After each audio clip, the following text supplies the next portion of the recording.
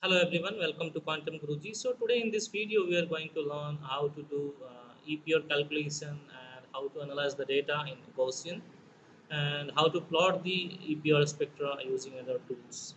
So without any delay, let's get started.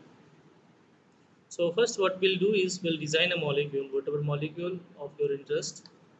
Uh, just for tutorial, I'm just designing one molecule.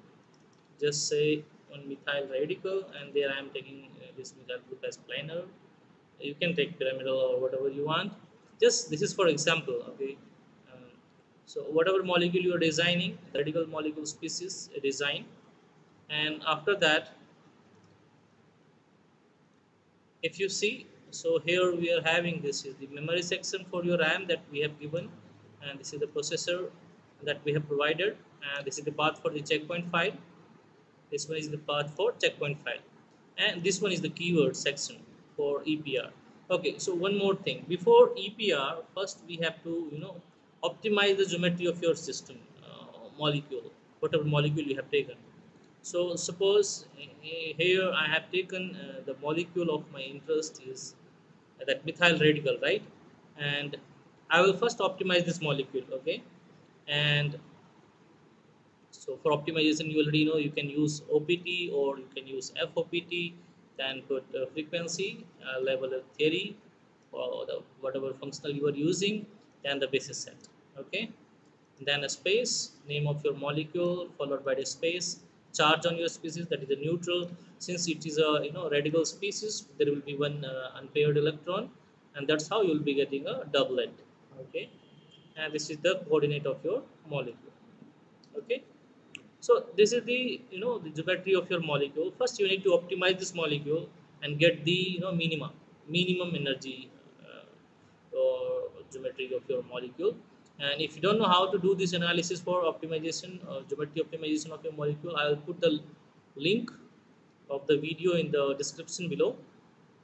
Okay once your geometry optimization process is over you will get a out dot log file or dot out file whatever file you are getting. So go to the end.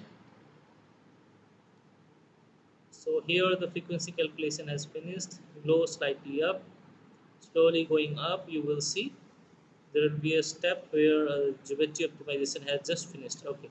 So here geometry optimization has finished and frequency has started. So you can go slightly up. And there you see everything has converged so go down and this is your input orientation. You can take this geometry. This is one way or other way is you can directly open the log file and right click, go to the file, save. You can save this, this file. Okay. Once you have saved this file, you will be seeing the coordinates that will be there in that file. Okay. Now take that coordinates and make an input for EPR. Okay and for EPR the input will be something like this. Okay this is the input for your EPR spectra. Okay and this is the memory whatever you are using and this is the number of processor you are using and that depends on you. Then this is the path for your checkpoint file and this is the main keyword for your EPR spectra. So this is the functional that you are using. Okay whatever functional you wish you can use no problem and this is the basis set okay? So EPR3 EPR3 means this is a specific basis set that Gaussian has provided for EPR calculation.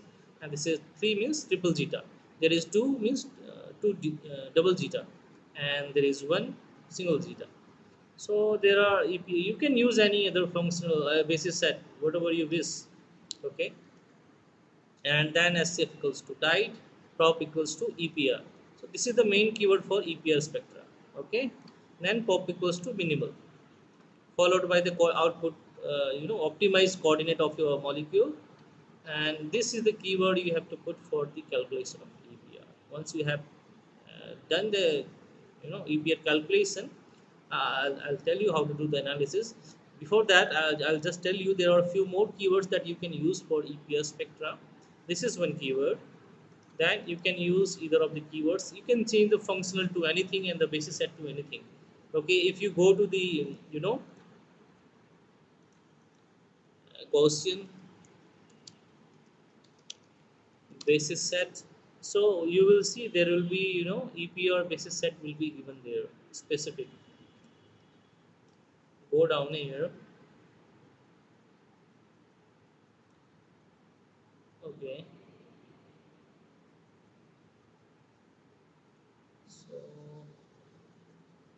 So here you see EPR2 EPR3 these are the basis set you know adopted for hyperfine coupling uh, constant by DFT method okay specific by B3LYP so when you are using B3LYP you can choose any of these uh, basis set uh, this is stand for double zeta and with a single setup polarization function fine.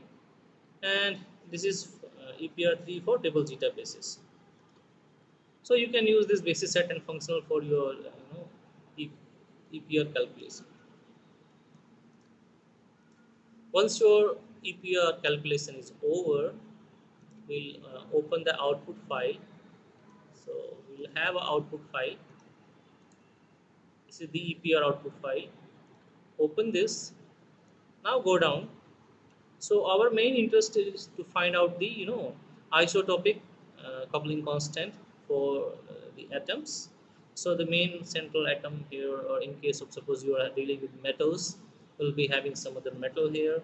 So this is the value that you have to report generally that is the isotropic constant coupling constant for this atom. So you can generally like people report for central atom. If you are interested you can go for all atom.